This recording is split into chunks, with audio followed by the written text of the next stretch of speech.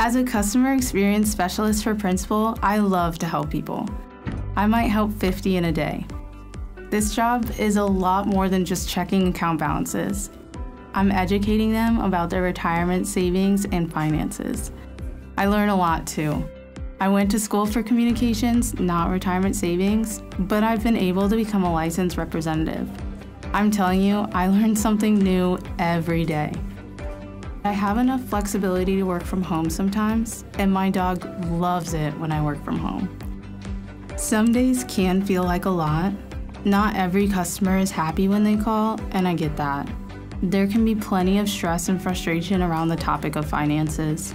But I love taking ownership of a tough problem. I tell them, let's see what we can do to get this done today. And I have experienced colleagues who I can call to help me zero in on a solution. I know I need to be present for our customers. I'm on a set schedule and I'm expected to be efficient. I really appreciate how my role keeps me so connected to our customers.